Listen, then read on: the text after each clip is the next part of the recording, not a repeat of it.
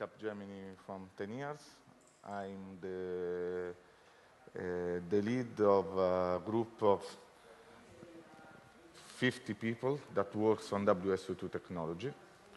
We chose WSO2 technology about uh, two years ago, and we begin to work uh, with them in a very wonderful way. And it's quite funny to have a monolithic organization like Capgemini that meet uh, a connected company like uh, WSO2. And the merge of these two different uh, attitudes was really strong. But really from the, the first beginning, we worked really, really well together. Now I, I, will present a use case that we have built uh, with a customer. I want to say that uh, in this use case also the customer was really active and uh, on, on the building of, the, of this solution. I cannot name the customer for some marketing reason. Some one of them uh, would attend with me the speaker, but was not possible for, for internal bureaucratic stuff. So what we are talking about. We are talking of an important, relevant media company. It's uh, really a standard one, so a broadcasting company. You know that at a certain point, every broadcasting company has to really change their business from a standard broadcasting towards a digital model. This uh, shift up, happened for all the broadcasting company about three, four years ago.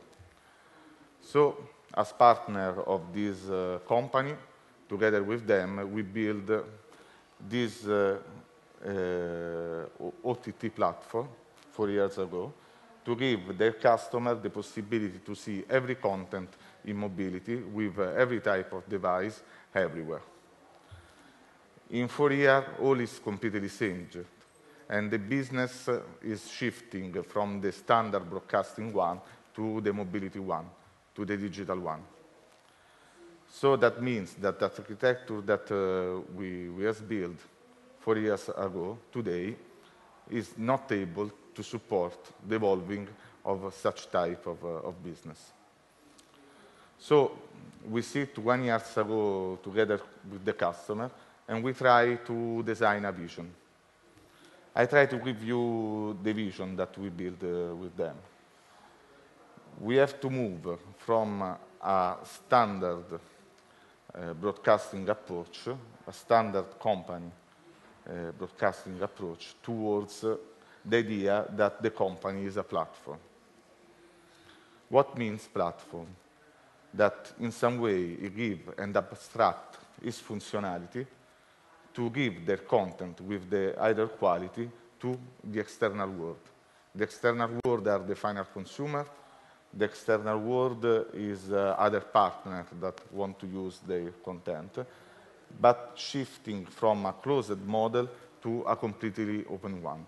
Leverage on the power of a platform and of the API.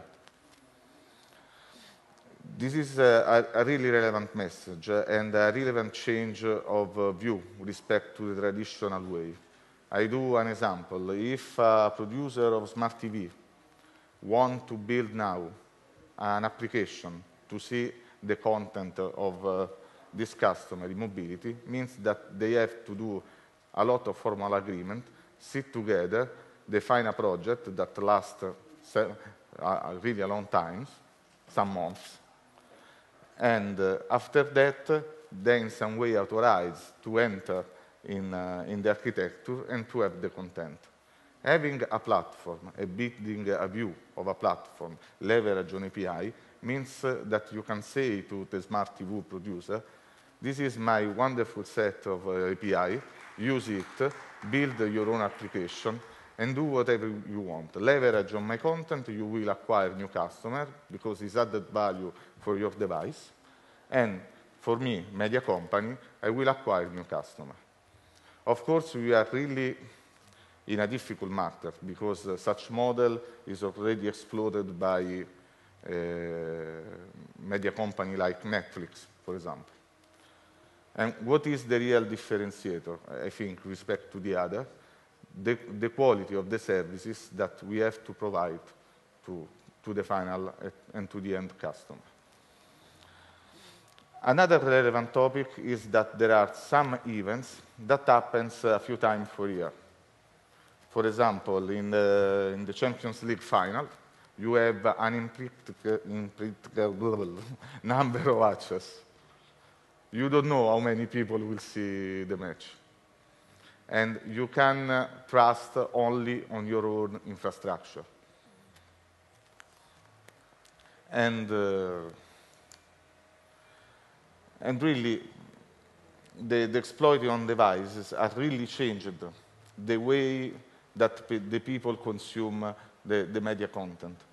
I want to underline that this business is really different, for example, from Netflix one. They have only on demand at the end, but they do not have uh, live events that uh, uh, can create really a huge impact on the infrastructure.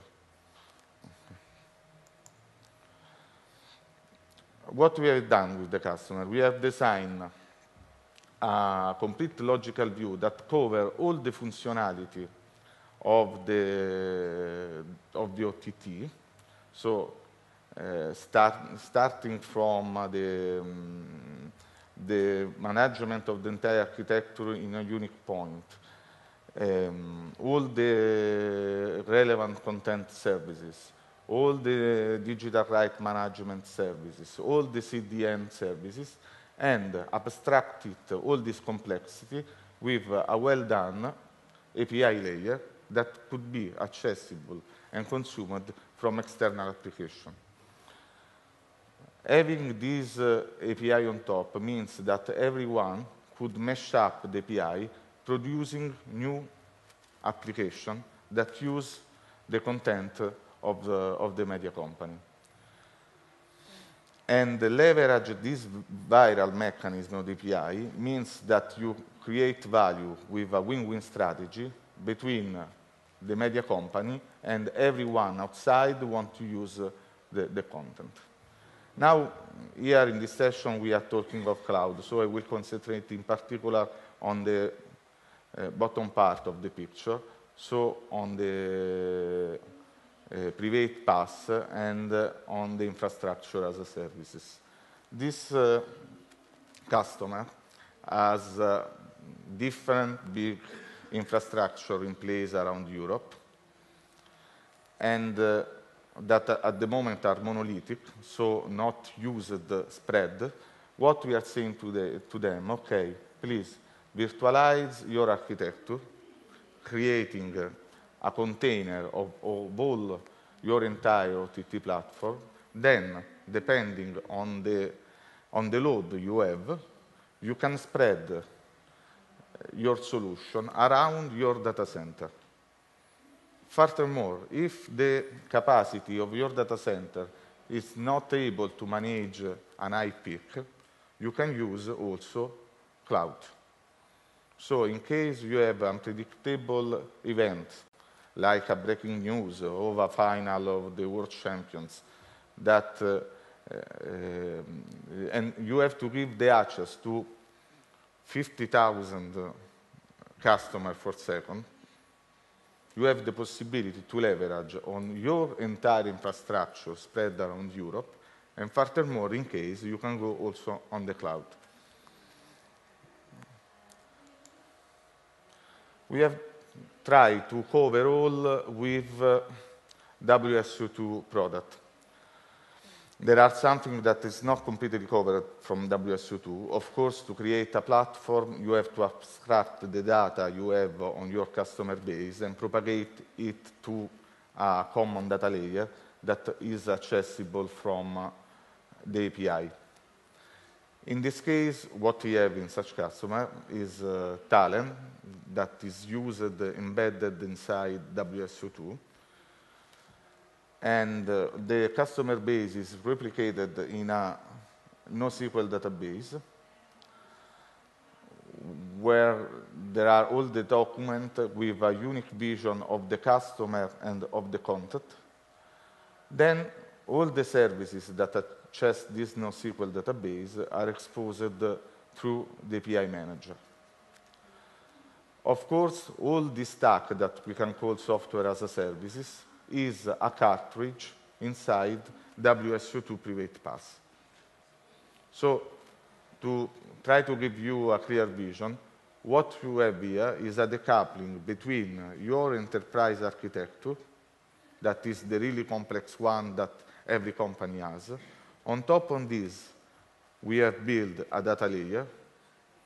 This data layer contains a unique vision of customer and content. On top of this, all the information and the services that access to this data layer are exposed with API Manager, all embedded in a private PaaS cartridge. On top of this, we have added the, the complex event processing to have real-time monitoring. You know, it's really important in such, such type of condition understand, okay, we are reaching now 30,000 uh, login for second on the services. What, what is my threshold? I have to send an alarm to say, okay, there is a problem on the entire infrastructure. And it's not easy to do it with, uh, with other tools. If you think that on such type of load, to have uh, on a business activity monitor, whatever it is, uh, a, vision of what is happening, it takes uh, three, four minutes, the time that you get the data from Hadoop, for example. So the real real-time monitor is really important. Otherwise, you will lose the, the problem. And in such type of use case, you have a problem really for some minutes. Only when uh, some minutes before the match is beginning, for example. So the, the real-time capability is really important. All this architecture is secured with uh, the identity server. On the other side, in the support part, we have a unique point of control and of view of the entire architecture. So in such way, the operator has a unique point to see how the, the, the overall architecture is, uh, is performing. And uh, one additional uh, uh, word on the decoupling. This is really important to understand that to make it working, it's really important that it is something that is on top of the existing enterprise. You have to decouple the existing enterprise, so the complexity that you have below, making it a upper level and create a platform that is in some way usable from the external consumer. This is a detail only of uh, the service layer. Then you can see that there is, uh, between Oracle and Couchbase, there is Talend. That is the tool that decouples the data that you have on your, uh, on your um, system to uh, the, the platform. And um, on, uh, on, on, top of this, you can see that uh, in, in this case, all uh, the services are, the, are, developed directly in the application server and exposed with the API manager. This is what we have deployed. We are talking of 10 nodes of API manager on EM2 large 10 node of application server, and only 4 node of business activity monitor for the real-time uh, uh, for the real-time stuff. And uh, with such type of configuration, we are able to reach 50k 50k concurrent requests per second, having a customer base of 10 millions of customers. So this is the, the, the, technical stuff, but now I want to concentrate more on uh, the general idea. If you want to change your business, you have to completely change your mindset, coming from a standard enterprise and becoming in some way connected. Becoming connected means today to leverage all your capabilities through API and give them to the external world. And for such type of business, but also for telco, it's not a matter if they want to do or not. They have to do, in any case. Otherwise, they will die. Imagine two players like Netflix, Google, Amazon. Everyone is selling video. So if they want to remain in the market, they have to go towards the connected world. There is no chance.